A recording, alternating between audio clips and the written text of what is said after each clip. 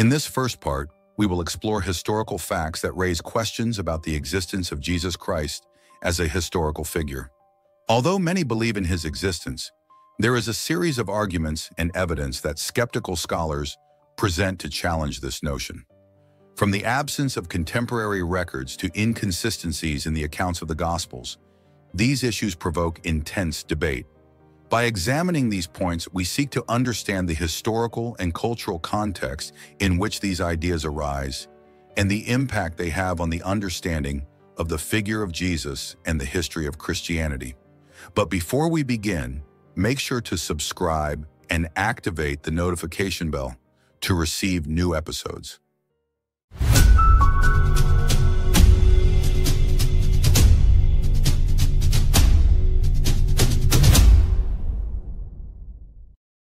The absence of contemporary references to Jesus is one of the arguments that some scholars and critics use to question the historical existence of this figure.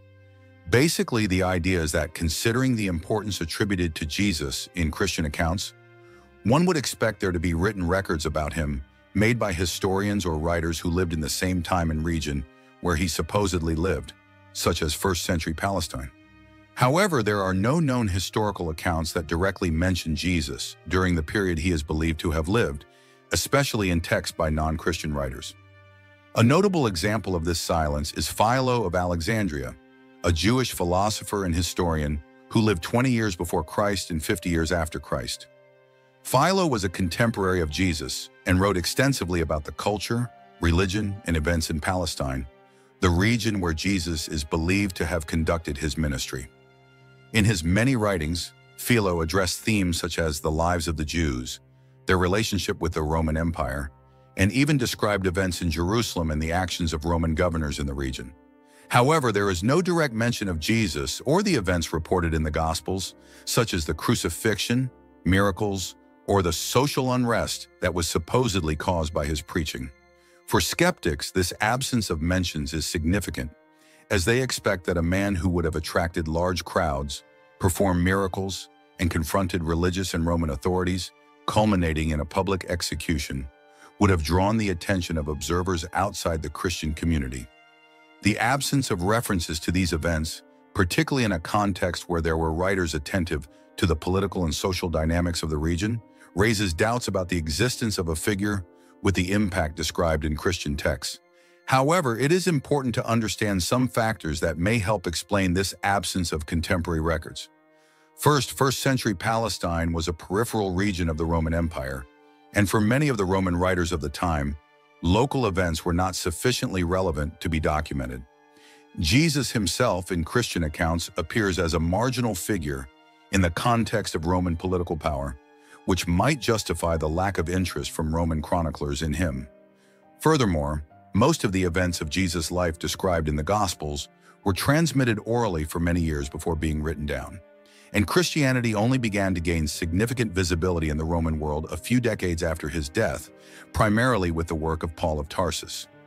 Another point to consider is that the earliest written records about Jesus, such as Paul's letters in the Gospels, were produced by his followers, that is, by members of the Christian community itself.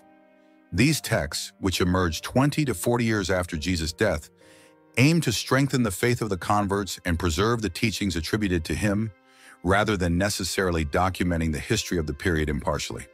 Thus, even if there are no direct references to Jesus in the writings of Philo of Alexandria or other historians of the time, this does not definitively prove that he did not exist, but rather indicates that he was not seen as a relevant figure outside the circle of his followers while he was still alive.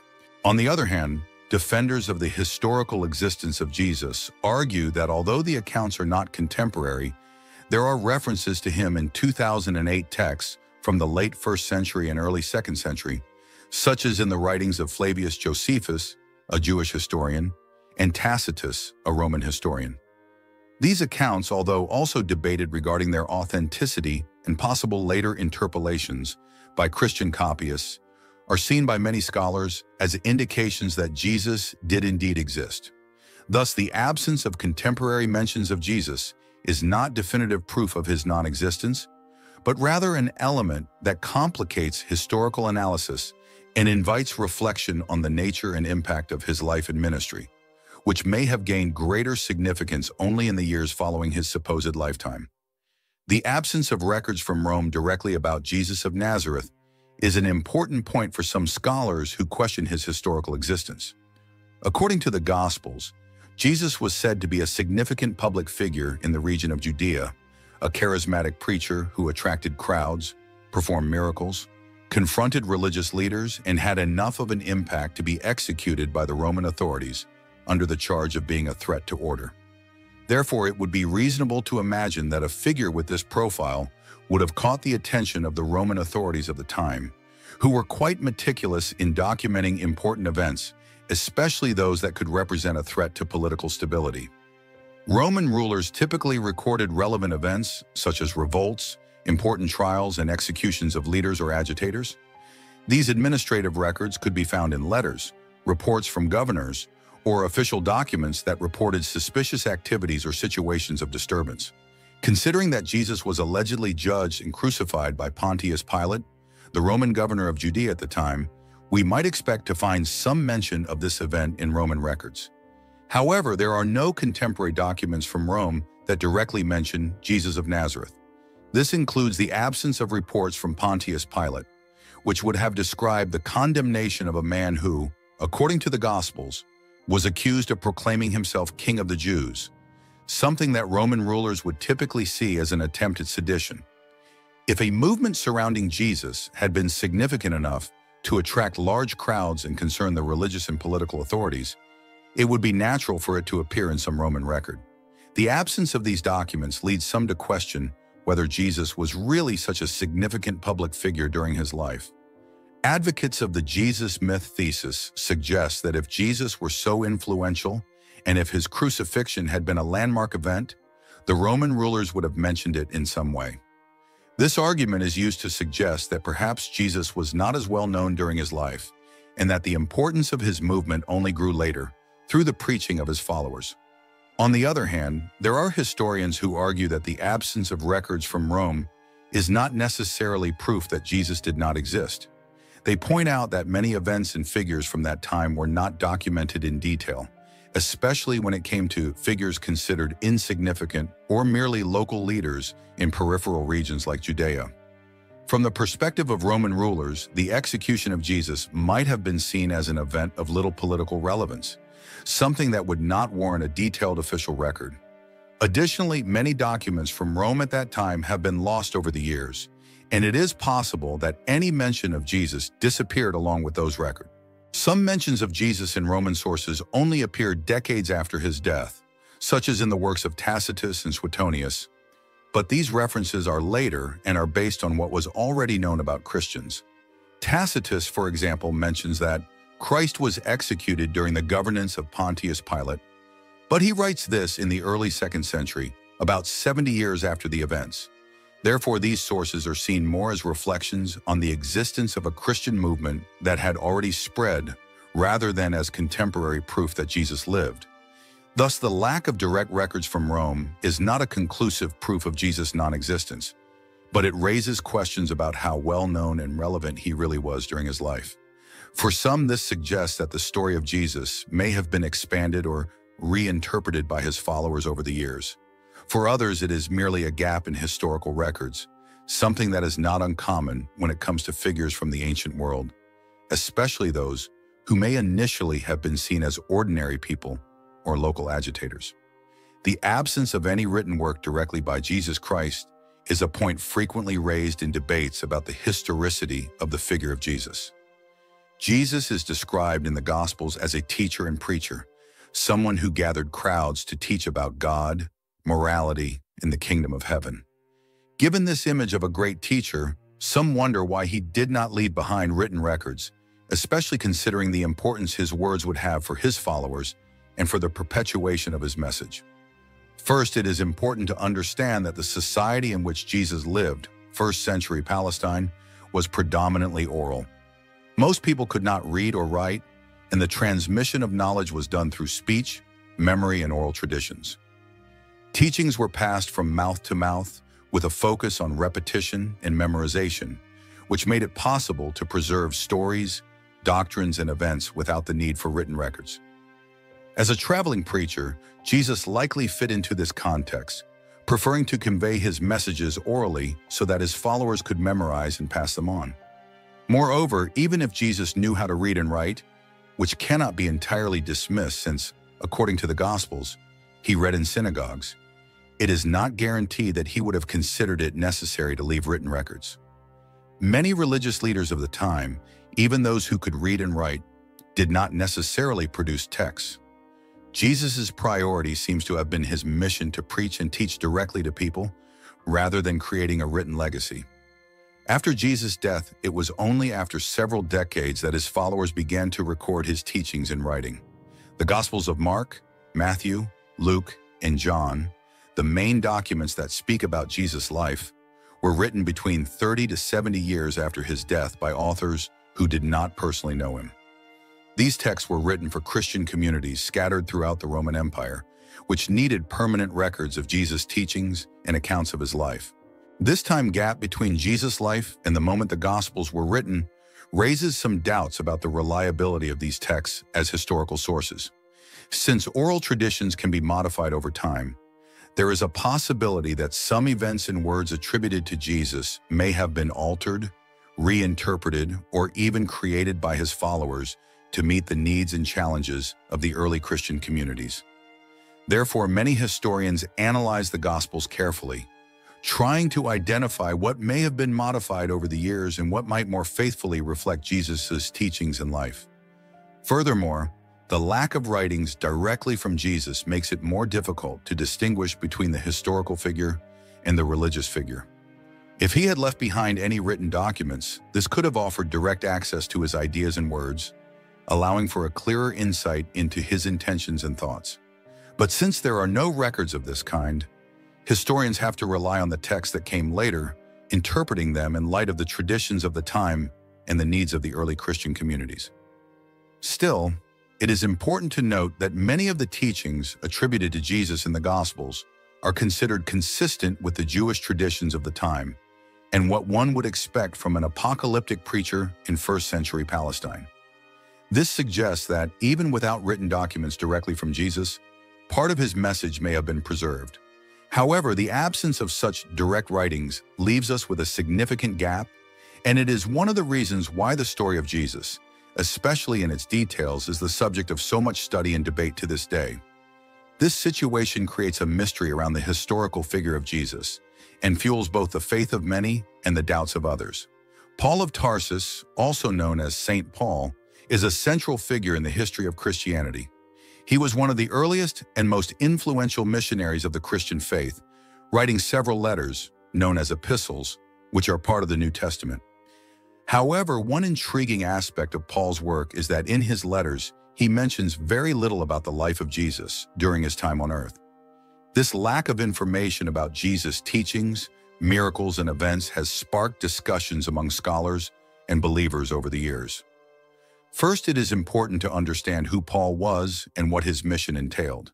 He lived in the first century and began as a Pharisee who persecuted Christians but had a dramatic conversion upon encountering a vision of the resurrected Jesus while traveling to Damascus. After this experience, Paul became a fervent defender of Christianity, traveling extensively to spread the message of Jesus. However, when writing his letters, he was more concerned with addressing theological and practical issues faced by Christian communities than with recounting Jesus' biography. Paul's epistles, such as those to the Romans, Corinthians, and Galatians, primarily deal with the message of salvation, the resurrection of Christ, and the importance of faith. Paul emphasizes that salvation comes through faith in Jesus Christ, whom he describes as the Son of God. For him, the resurrection is a central point of his message. He believes that through the resurrection, Jesus overcame death and offered the possibility of eternal life to all who believe in him. This focus on spiritual matters and the resurrection is, in a way, understandable, as Paul was writing to communities facing challenges and persecution, needing to offer hope and encouragement. However, this emphasis on spiritual issues leads to a remarkable scarcity of details about the life and teachings of Jesus. For example, Paul does not mention many of Jesus' great teachings, such as the parables, the Sermon on the Mount, or even the miracles he performed. Instead, he speaks more about the cross and the resurrection, arguing that Jesus' sacrifice is fundamental to understanding Christianity. This raises questions about how the early Christian communities were understanding and interpreting Jesus' message. Another factor to consider is that Paul was writing to communities that already had some knowledge about Jesus, even if he did not know them personally. Therefore, he may have thought it unnecessary to recount Jesus' life, since his listeners likely had a basic notion of who he was and what he had done. Additionally, the oral tradition of the time played a significant role in transmitting the stories of Jesus. Thus, communities could have accessed these stories through other preachers or sources.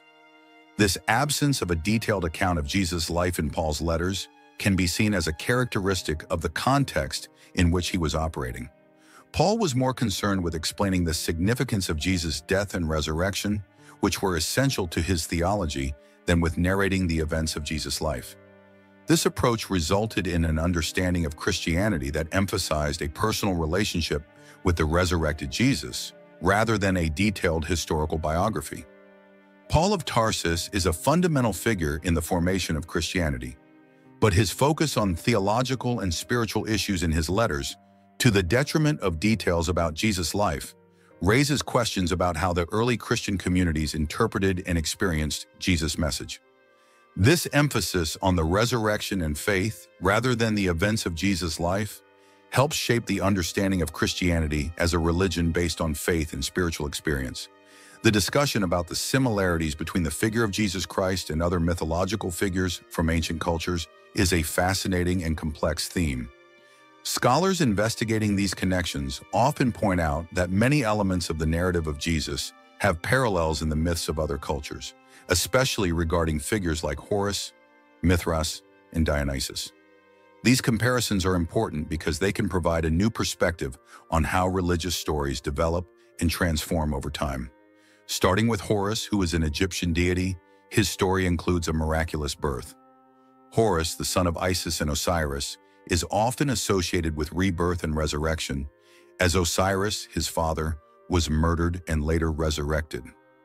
The myth of Horus involves many elements of struggle and triumph over evil, and his life was marked by events that can also be seen in the narratives of Jesus, such as the fight against adversarial forces.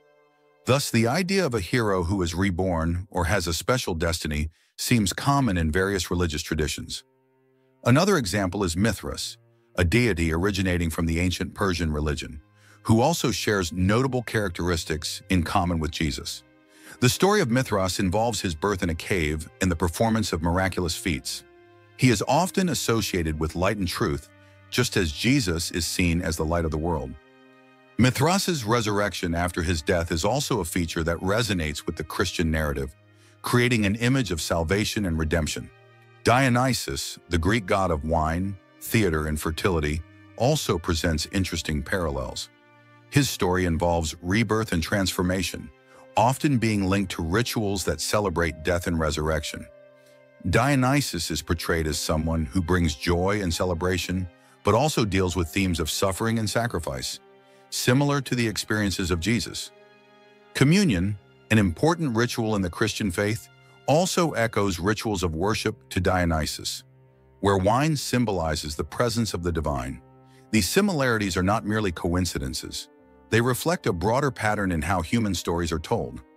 Many cultures throughout history have developed myths and legends that address universal issues such as life, death, sacrifice, and redemption. This suggests that over the centuries, narratives about gods and heroes have been shaped by shared human experiences and the need to explain phenomena that transcend human understanding.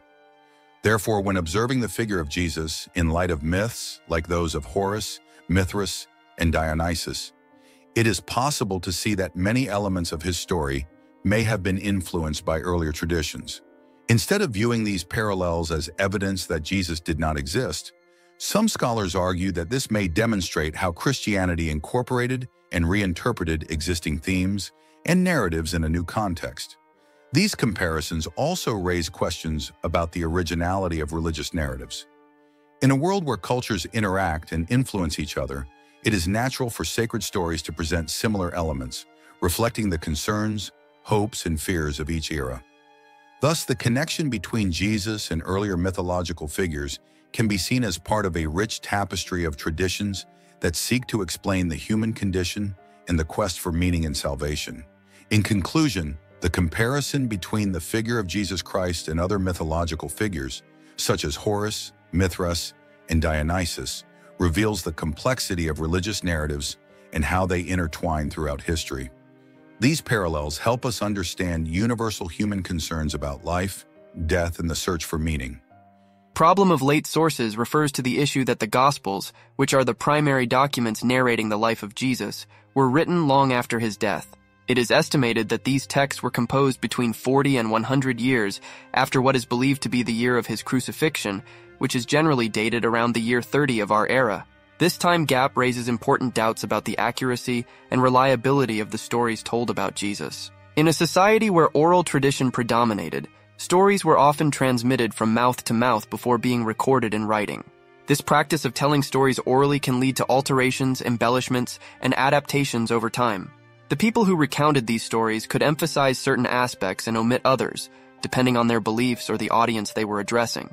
Thus, it is natural to question how much the narratives of the Gospels were altered during this long period of oral transmission. Moreover, the literacy rate in first century Palestine was very low. Most people could not read or write, which meant that written accounts of Jesus were accessible only to a small elite. The communities that followed Jesus relied on oral tradition to convey his teachings and stories. This suggests that information could be distorted or reinterpreted as it was passed along. It is possible that important aspects of Jesus' life and teachings were misinterpreted or even forgotten, leading to a representation different from what actually occurred. The Gospels of Matthew, Mark, Luke, and John were not only written in different times, but also have distinct styles and focuses. For example, Mark is considered the oldest and shortest, while John is the latest and contains a more developed theology about the divinity of Jesus. This difference in styles may indicate that the authors had varied purposes in mind when writing, which could affect how the events were narrated. This raises the question of how faithfully the Gospels reflect what Jesus actually said or did. Another relevant point is that as Jesus' followers spread and Christianity began to establish itself as an organized religion, accounts of Jesus' life may have been shaped to meet new beliefs and theological needs. The authors of the Gospels were writing for specific communities, each with their own concerns and contexts, which could influence how they portrayed Jesus and his teachings. The lack of contemporary sources also contributes to the uncertainty. If Jesus were truly such an influential and charismatic figure, one would expect some record of his life in historical documents from his time. However, the main references to Jesus appear in Christian texts, which already have their own agenda. This raises questions about the objectivity of these accounts, as they were written in a context where the Christian faith was consolidating and expanding. Thus, the problem of late sources leads us to question the authenticity of the stories about Jesus. While many people firmly believe in the veracity of the gospel narratives, it is essential to consider the influence of time, oral tradition, and the historical circumstances that shape these sources. These questions are fundamental to understanding the complexity of the figure of Jesus and how he was perceived throughout history. The question of the existence of Jesus Christ and the authenticity of the historical sources that mention his life are complex topics debated by historians and scholars of religion. One of the frequently cited texts is by Flavius Josephus, a first century Jewish historian. Josephus wrote a work called Antiquities of the Jews, where he references Jesus. However, many scholars believe that these mentions may have been altered or exaggerated by Christian writers in later periods. The most famous passage of Josephus that mentions Jesus is known as the Flavian Testimony. In this text, Josephus describes Jesus as a wise man who performed miracles, being the Christ, and being crucified under Pontius Pilate. For many scholars, this description is problematic. The main reason is that if we consider that Josephus was a Jew who was not a Christian, it is unlikely that he would have referred to Jesus as the Christ, which is a messianic title loaded with religious connotations that reflect the Christian belief. This suggests that this part of the text may have been added or modified by someone wanting to promote the idea that Jesus was indeed the Messiah.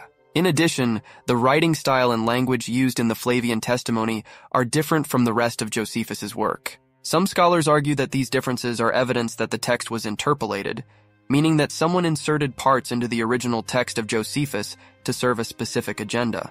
These modifications likely occurred at a time when Christianity was spreading and gaining acceptance in the Roman world. Christian writers wanted to legitimize the figure of Jesus as a great prophet and thus make him more accepted in the society of the time. The debate over the authenticity of the Flavian testimony is intense. Some experts assert that the only part that can be considered authentic is the mention of Jesus as a wise man, while the remainder, which involves the crucifixion and resurrection, would be a later addition.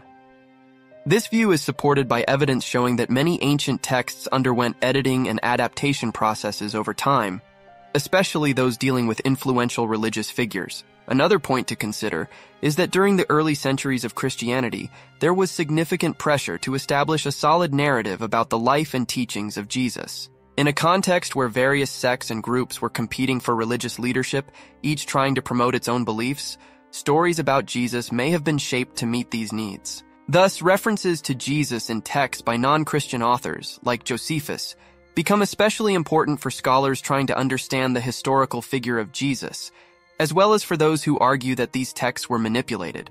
These questions about the Flavian testimony and other historical references to Jesus reveal the complexity of research on his life. Many historians believe that, although there are references to Jesus, certainty about his life and teachings is difficult to establish due to these possible alterations and the lack of contemporary documentation. This discussion is fundamental to understanding Christianity and how it developed throughout history, showing that the line between history and faith is often thin and complex. The Gospels of the New Testament are the main sources that narrate the life and teachings of Jesus Christ, and they are considered sacred by millions of people worldwide. However, when analyzing them closely, many scholars note that there are various inconsistencies between these texts.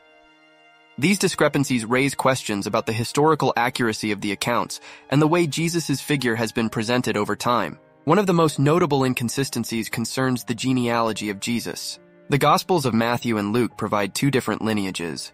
Matthew traces Jesus' descent from Abraham through David and mentions 14 generations in each of the three parts of his list. On the other hand, Luke presents a different genealogy, which reaches Jesus through a different line of ancestors and includes names not found in Matthew. This difference in genealogy can create confusion about Jesus' lineage, especially since descent from David was an important characteristic for Jews who expected a Messiah from that lineage. Another point of contention refers to the birth of Jesus. The Gospels of Matthew and Luke have distinct accounts of the event. Matthew discusses the visit of the Magi, the family's flight to Egypt, and the slaughter of the innocents, while Luke narrates the story of the announcement of the birth to the shepherds and the presentation of Jesus at the temple. The difference in emphasis and details in each account makes it challenging to form a cohesive narrative about Jesus' birth. For example, Matthew does not mention Mary and Joseph's journey to Bethlehem, while Luke states that they traveled there due to a census. This census, in fact, is not mentioned in historical records, raising further doubts about the accuracy of the accounts. In addition to the discrepancies regarding genealogy and birth, the narratives about the resurrection of Jesus also present inconsistencies. Each of the four Gospels, Matthew, Mark, Luke, and John, describes the resurrection of Jesus, but each does so differently. For example, the number of women who visited the tomb varies among the accounts. In Matthew, two women are mentioned, while in Mark, there are three. Luke mentions that several women were present, and John focuses only on Mary Magdalene. Moreover, the interactions that occurred after the resurrection vary from one gospel to another, leaving readers confused about who saw Jesus first and what his instructions were after the resurrection.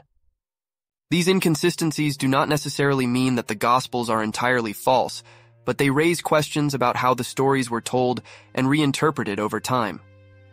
The Gospels were written in different contexts by authors who had distinct purposes and varied audiences. This may have led to embellishments of the accounts or an emphasis on certain aspects of Jesus' life, depending on the message each author wanted to convey. Additionally, the oral tradition, which was a common practice before the writing of the Gospels, may have contributed to the variation in the accounts. Stories about Jesus were passed down from generation to generation, and each storyteller may have added their own interpretations or dramatic elements. This is natural in any oral tradition, but raises doubts about the historical accuracy of the narratives that eventually were recorded. Therefore, When considering the Gospels as historical documents, it is important to acknowledge these inconsistencies and understand that they are part of a broader context. The figure of Jesus is complex and multifaceted, and the different narratives reflect the diversity of beliefs and experiences of early Christians. The issue of the absence of a worship tradition for Jesus in the early years of Christianity is an intriguing topic that generates debate among historians and scholars. When we analyze the early Christians, especially in the decades immediately following Jesus' death, we see that the image they had of him was very different from the one that later consolidated in the Gospels. Initially, Jesus' followers did not seem to worship him in the same way that, for example, one would worship a human leader or a king. Instead, they focused on his message and the spiritual experience he provided. Right after the crucifixion of Jesus, his disciples and closest followers were more concerned with understanding and spreading his teachings than establishing a formal cult around him.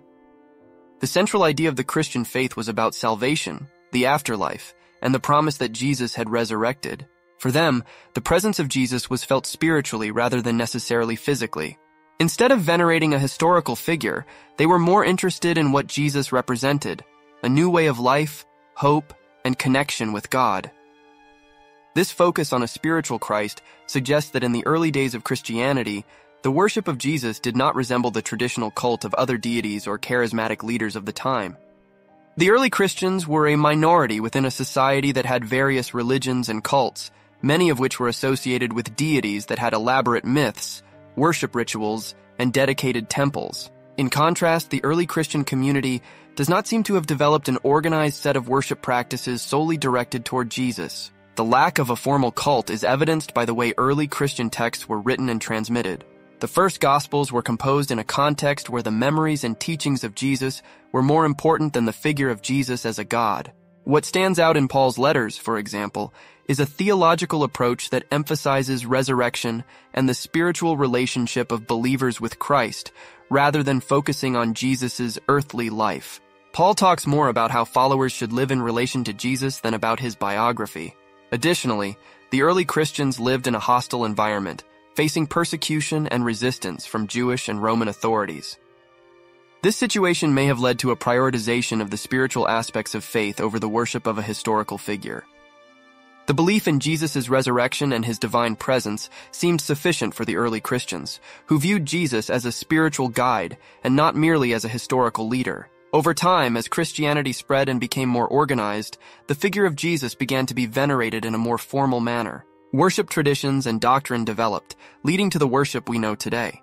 This evolution suggests that initially, Jesus may have been seen more as a mythical or spiritual figure than as a concrete human leader. This transition reflects how beliefs and practices can evolve over time, adapting to the needs and contexts of faith communities. The absence of a worship tradition in the early days of Christianity sheds light on the complexities of Christian identity formation and invites us to consider how spirituality and belief can emerge in times of uncertainty and transformation. In the first century, Palestine was a place filled with political and religious turmoil, with various figures presenting themselves as messiahs or spiritual leaders. Many people were dissatisfied with Roman rule and hoped for a savior to liberate them and bring about a new era of peace and justice. In this context, various preachers emerged, announcing the arrival of the kingdom of God and proclaiming messages of transformation and change. Among them were individuals like John the Baptist who called people to repentance. There were also others who opposed Roman authority and tried to gather followers around their ideas. Many of these preachers were charismatic and attracted crowds, making the idea of a Messiah quite popular. This created a fertile environment for the proliferation of stories about people performing miracles, teaching about God's love, and proclaiming a new social and spiritual order. When examining the story of Jesus of Nazareth, some scholars argue that he may have become a figure constructed from various influences and traditions. It is possible that his teachings, miracles, and even events from his life were shaped by these other messianic figures already present in the Jewish culture of the time. For instance, the idea of a savior who dies and resurrects is a common theme in various religious traditions predating Jesus. Many ancient cultures had gods or heroes who went through a cycle of death and rebirth, such as Osiris in Egypt or Dionysus in Greece. These stories may have influenced the narrative about Jesus, giving him characteristics and events that resonated with popular beliefs. Moreover, the search for a Messiah during Jesus' time was not an isolated phenomenon. The Jews were waiting for a liberator to help them rid themselves of Roman oppression, and this expectation generated a variety of figures who could be seen as potential messiahs.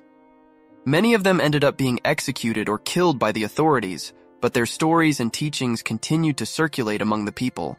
The figure of Jesus, with his teachings about love, forgiveness, and social justice, could have been an adaptation or synthesis of several of these messianic figures and their messages.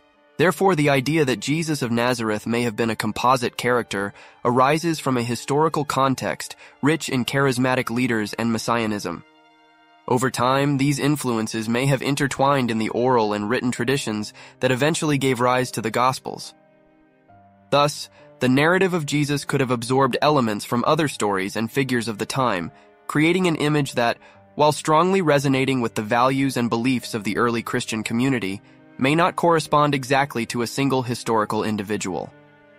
This perspective suggests that, instead of being a unique event in history, the life of Jesus can be seen as part of a broader phenomenon of hope and messianic expectation, reflecting the longings and spirituality of a people seeking meaning and liberation in a tumultuous world. Therefore, the historical Jesus, if he existed, may be a collage of various influences shaped by the culture and religiosity of the time. The figure of Jesus of Nazareth can be understood as a reflection of the messianic expectations of the first century, involving influences from various religious traditions and leaders of the time. This analysis opens the door for a deeper dialogue about the origins of Christianity and its impact on society. To delve further into this fascinating topic, I invite you to watch part one, where we explore other aspects of this discussion. Don't forget to subscribe to our channel to stay updated on all the content we are preparing for you.